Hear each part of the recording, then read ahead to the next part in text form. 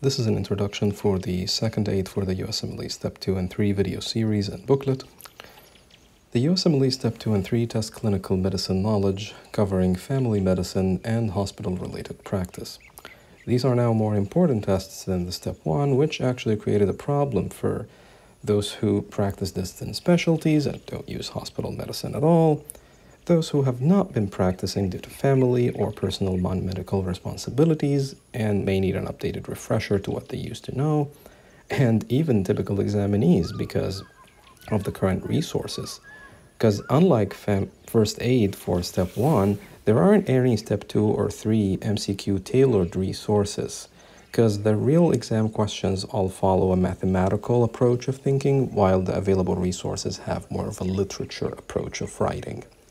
So when I had these first two problems, I took the step three and I failed it, even though I followed the usual advice of just do UWorld, but I didn't have a core base, so I decided to bring my own book. So I created a book in the form of prescriptions.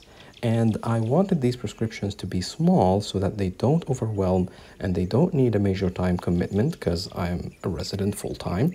They had to be full, comprehensive, with no additional resources on top, just some questions to practice after studying them.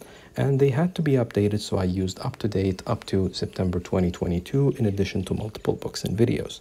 So, in conclusion, I passed with great score after just four weeks of studying and while working full time in a distant specialty.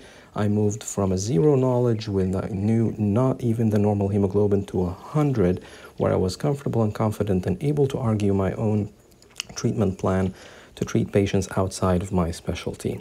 So I'm going to publish these in form of a YouTube short 60 seconds and a booklet afterwards for everyone and hope they can help.